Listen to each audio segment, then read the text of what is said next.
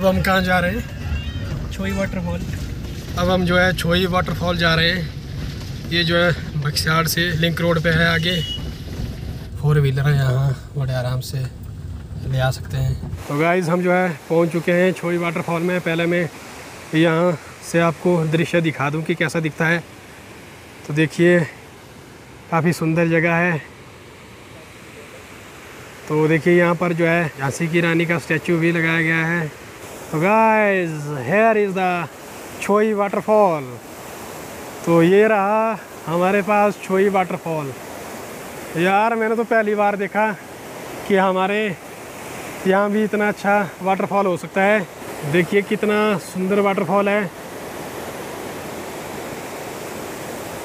वैसे ये पानी कहाँ से आता है पीछे?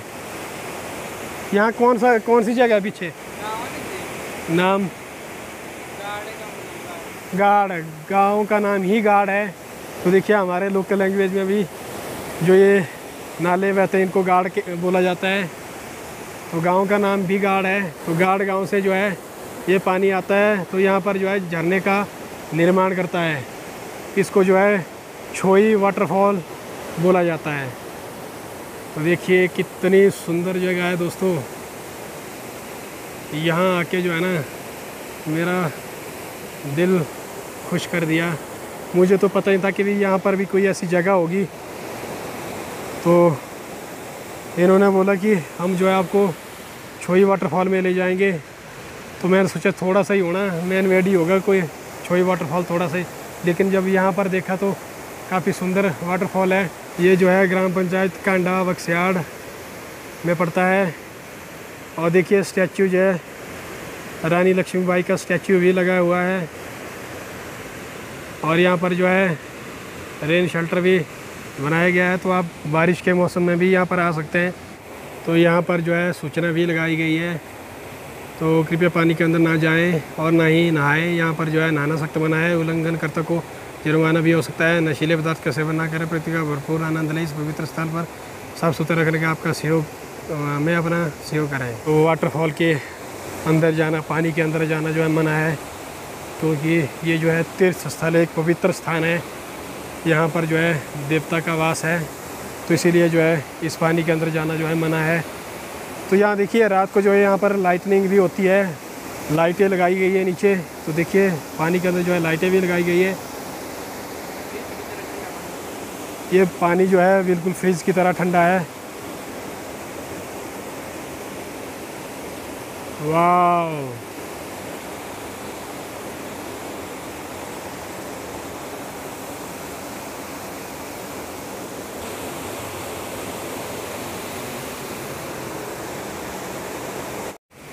तो guys here is the Choi waterfall at Baxiad Valley. Oh, awesome guys.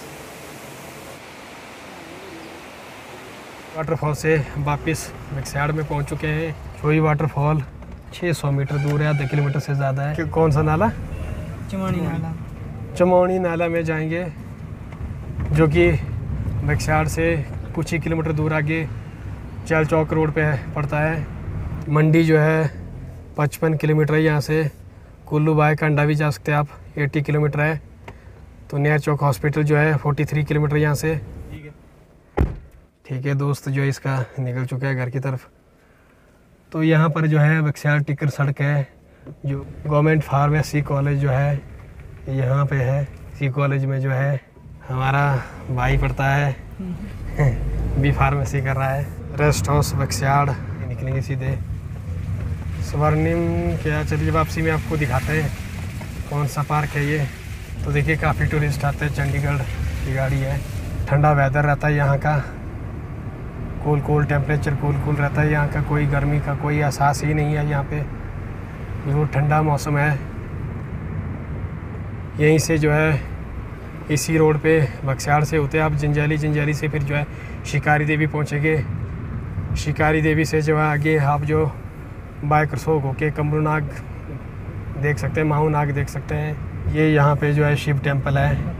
हाँ। करवाते हैं मैंने देखा। ऊपर नीचे जो है दोनों साइड एप्पल्स के गार्डन है यहाँ। तो गाइज़ ये है चमौनी नाला, मनरेगा टूरिज़्म। यहाँ पे जितने भी वर्क हुए हैं ना, टूरिज़्म को लेके, वो मनरेगा वालों ने ही किए हैं, पंचायत वालों ने ही किए हैं। आइए घूमिए नहर चौक, मंडी, जंजाली, चैल चौक रोड पे। आपको ये बीच में मिल जाएगा चमोनी नाला शिव स्थली चमोनी नाला। जय भोलेनाथ। बम शंकर। तो देखिए, अभी जो है वर्क इन प्रोग्रेस है। यहाँ पे जो है कार्य चला देखिए, बिल्कुल ग्रीन शौचालय बनाया गया है। यहाँ पे देखिए, मुझे लग रहा है हर्ट्स वगैरह बनने शुरू हो चुके हैं। यहाँ पे कितने सुंदर देवदार के वृक्ष लगे हुए हैं। तो काफ़ी अच्छी देख रेख इनकी की जा रही है। वम शंकर, जय भोलेनाथ। तो आइए दोस्तों, घूमिए। काफ़ी शांत जगह है।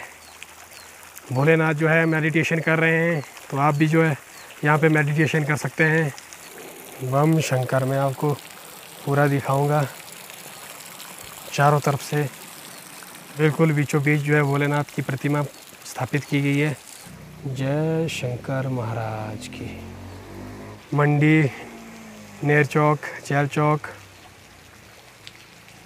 कांडा बक्स्याड़ जंजाली शिकारी देवी के लिए जो, ये जो रोड जाता है, इसी रोड पे जो है कांडा स्टेशन से बक्स्याड़ की तरफ़ जो है चमोनी नाला पार्क है।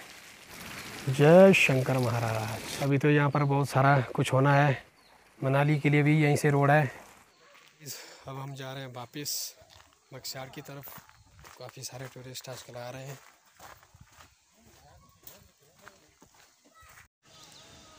चमोड़ी नाला से आगे ही बक्सार की तरफ़ आपको जो है स्वर्णिम बाटिका मिलेगी।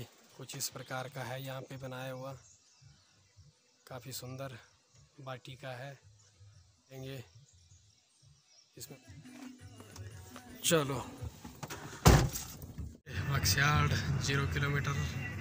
यहाँ नीचे जो है आईटीआई भी है ना? आईटीआई भी बक्सियाड़ से जो है, जंजाली सताईस किलोमीटर है। शाटादार रोड जो है, बयालीस किलोमीटर है। शिकारी देवी टेंपल जो है, यहाँ से फोर्टी थ्री किलोमीटर है।